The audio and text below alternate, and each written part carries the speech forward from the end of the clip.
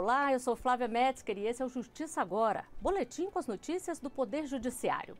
O Tribunal de Justiça do Amapá segue sua tradição e promoverá sua 23ª cantata natalina. O evento será realizado no dia 16 de dezembro, às 19 horas, em palco a ser instalado na esquina da Avenida FAB com a Rua General Rondon, em frente à sede da instituição em Macapá. O tradicional evento, que será apresentado pelo Coral do Tribunal, faz parte do calendário cultural do Amapá e aguardado por milhares de pessoas. Realizada desde 1999, na sua edição anterior, em 2022, mais de 3.500 pessoas assistiram em família à apresentação.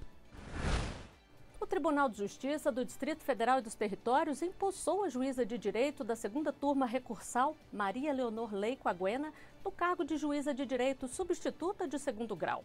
A magistrada foi eleita pelo critério de antiguidade para ocupar vaga do juiz João Luiz Fischer Dias, que se aposentou. A votação foi unânime e ocorreu durante a 18ª sessão extraordinária do Tribunal Pleno, na modalidade presencial. Maria Leonora é neta de imigrantes e formada em Direito na Pontifícia Universidade Católica de São Paulo, em 1986. Março deste ano, ela foi convocada pelo Conselho Especial do Tribunal do Distrito Federal para atuar junto à sétima turma civil e primeira Câmara Civil para atuar na vaga do desembargador Romeu Gonzaga Neiva.